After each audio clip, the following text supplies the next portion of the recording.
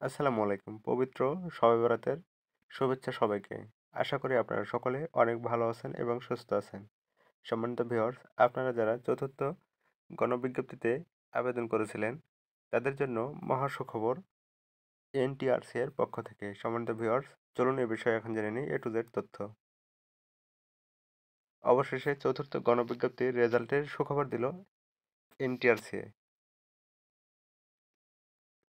চতুর্থ গণবিজ্ঞপ্তিতে যারা আবেদন করেছেন, তারা খুব হতাশায় আছেন। ফল প্রকাশকে কেন্দ্র করে। এনটিআরসি এর একাধিক সূত্রে জানা গেছে, শিক্ষামন্ত্রী ডাক্তার দীপু মনি বর্তমানে কাতারে অবস্থান করছেন। আর তিনি খুব শিগগিরই দেশে ফিরবেন বলে আশা করা হচ্ছে। তিনি দেশে ফিরলেই চতুর্থ গণবিজ্ঞপ্তির রেজাল্ট প্রকাশ এর জন্য অনুমতি চাইবেন এনটিআরসি সংস্থাটি। তো সম্মানিত ভিউয়ার্স এটি আসলেই সুখবর যারা চতুর্থ গণবিজ্ঞপ্তিতে আবেদন করেছিলেন তাদের জন্য। যাই হোক, আজকের ভিডিও এ পর্যন্তই। ভিউয়ার্স পরবর্তী নতুন কোনো আপডেট সবার আগে পেতে অবশ্যই চ্যানেলটি সাবস্ক্রাইব করে পাশে থাকা বেল বাটনটি প্রেস করে রাখুন।